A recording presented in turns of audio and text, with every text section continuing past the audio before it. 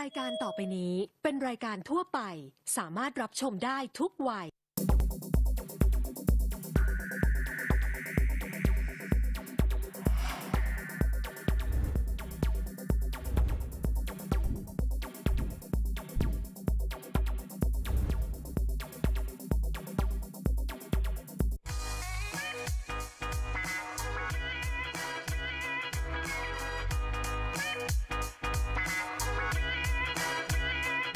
ประกันชั้นหนึ่งทิปอัพทูมาจากทิพยประกันภัย เริ่ม 4,900 บาทต่อปี โทร 1736 มอบความรู้สึกแบบใหม่ให้ฟัน ด้วยยาสีฟันสมุนไพรดอกบัวคู่ใหม่สูตร Everfresh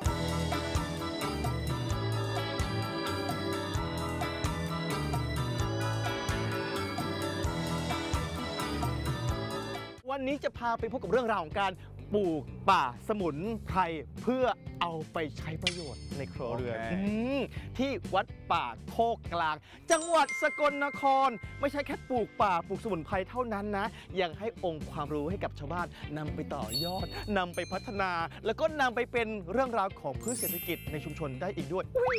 น่าสนใจอีหลีอีหลอกันเออกันเนี่ยแล้ว ไปติดตามรับชมการ ปลูกป่าสมุนไพรกันได้เลย แก้พิษเผ็ดพิษเผ็ดกับพวกเนี้ย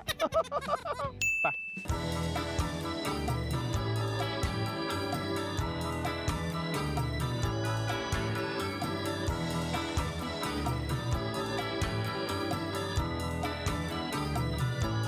สวนป่าสมุนไพรเราตรงเนี้ยแต่ก่อนจะเป็นที่โล่งๆ ไม่มีต้นไม้ ก็มีโยมถวายที่มาก็เลยปลูกเป็นสวนป่า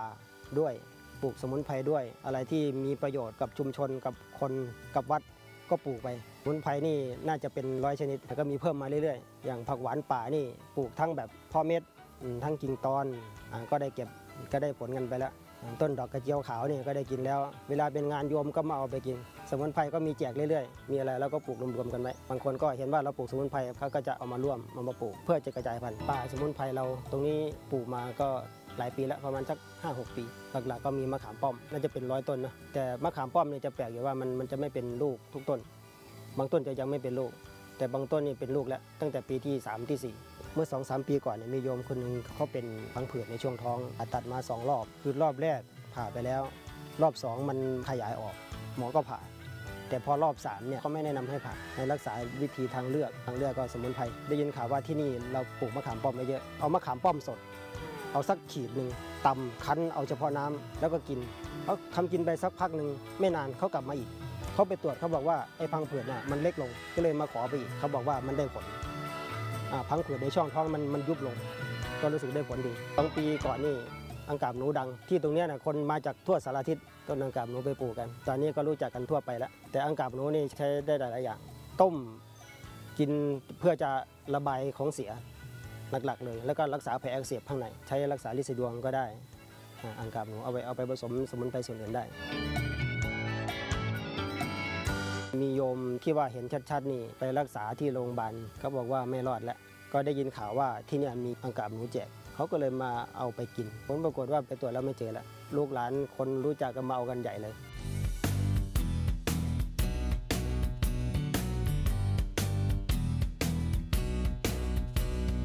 ช่วงที่เป็นข่าวตอนนั้นนะยังมีไม่เยอะเก็บกันจนเหลือแต่ตอเอาใบไปต้มวันหนึ่งถ้ากินสักสี่ห้าแก้วเนี่ยสบายเยอะ บางคนนี่จะรู้สึกวินหัว แต่ไม่ถึงกับเป็นอันตรายพอมีอาการนิดเดียวก็หาย ต้มไปต้มมาเนี่ยคือไอระเหยมันมันระเหยออกทิ้ง ก็เลยคิดว่าเสียดายก็เลยจัดแปลงมาเป็นที่มันระเหยออกไปแล้วกันเป็นหยดน้ำเอามาใช้ได้อีก ตอนนี้ถ้าใครต้องการก็มีแจกทุกวันมาได้ตลอดเวลาแจกด้วยเอาพันธุ์ไปปลูกได้ด้วย อย่างที่นี่จะมีต้นใบสองฟ้า ต้นสองฟ้านี่ใบมันนี่เราเคี้ยวดูมันจะเหมือนแฮกมันจะ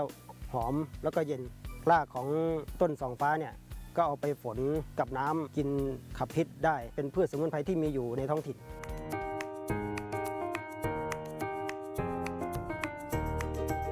สมุนไพรนี่ก็เป็นอีกทางเลือกหนึ่ง เราน่าจะเรียนรู้น่าจะศึกษา สมุนไพรบางอย่างก็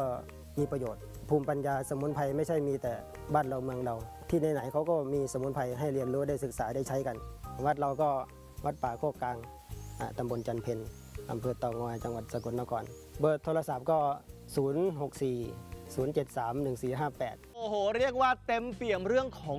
ความรู้เกี่ยวข้องกับสุนไพรต้องขอบคุณพระอาจารย์สุพจน์อย่างสูงเลยนะจ๊ะ ที่นำองค์ความรู้มาให้กับชาวบ้าน ดีต่อสุขภาพ และก็ดีต่อใจอีกด้วยนะจ๊ะ ส่วนช่วงนี้พักแป๊บเดียว